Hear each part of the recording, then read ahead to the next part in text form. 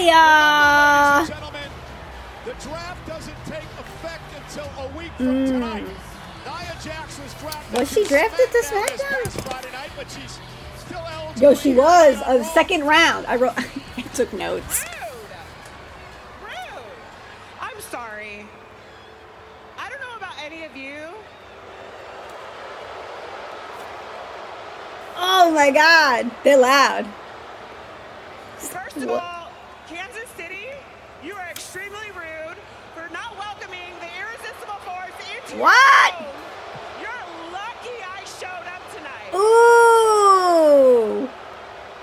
I can't hear